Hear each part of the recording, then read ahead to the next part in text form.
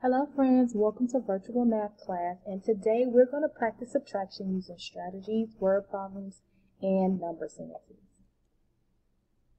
Vocabulary, so remember, subtract the subtraction means to take away, okay, and if you notice, there's an X showing taking away one of the lollipops. Okay?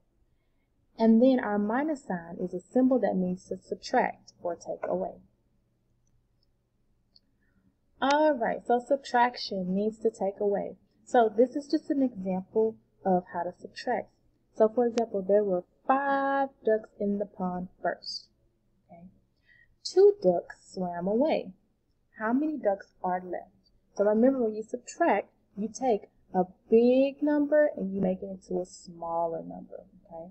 So looking at our number sentence, we have the number five first because first there were one, two, three, four, five ducks, okay?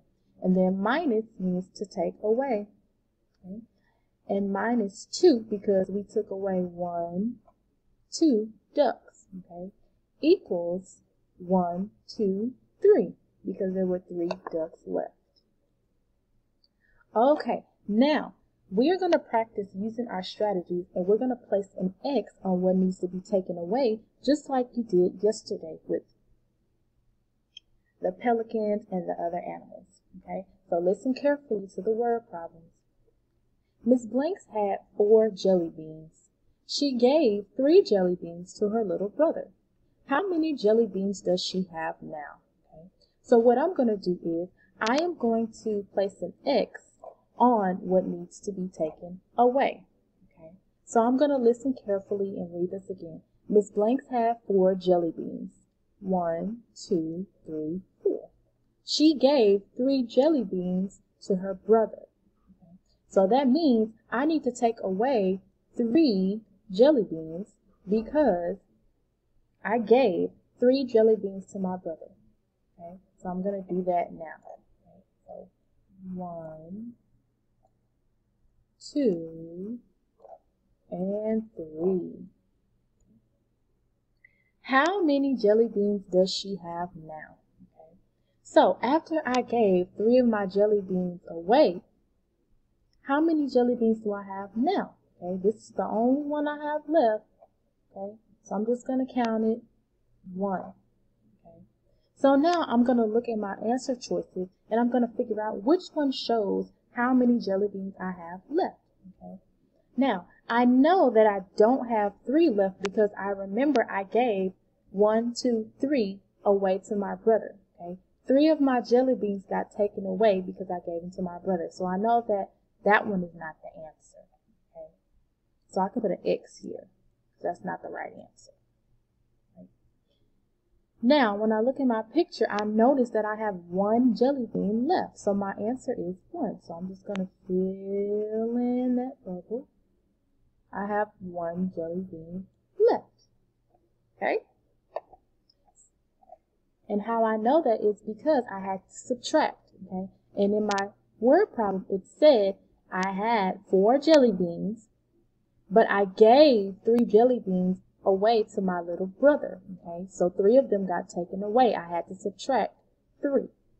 And I was left with one jelly bean. Okay? Let's go to the next one.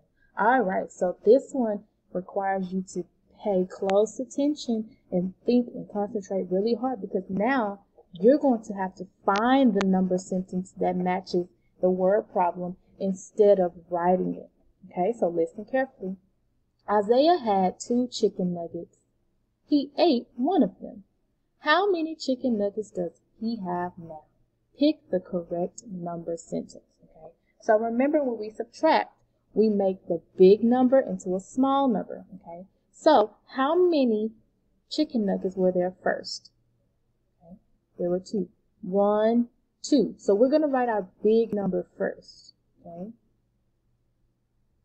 And then I'm going to write a minus sign because I know minus means to subtract and subtract means to take away. Okay. And I see an X already here. So that lets me know that I'm taking away something. So I need to use minus.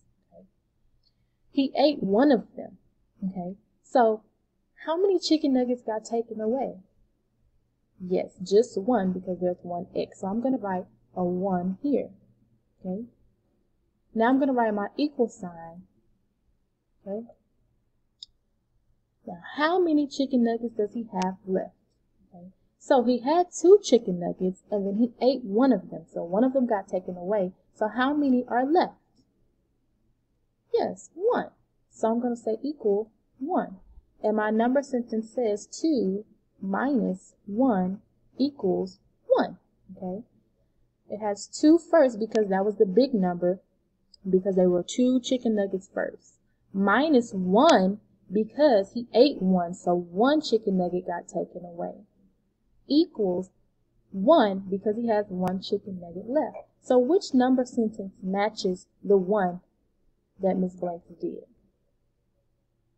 Yes, this one. 2 minus 1 equals 1. Okay.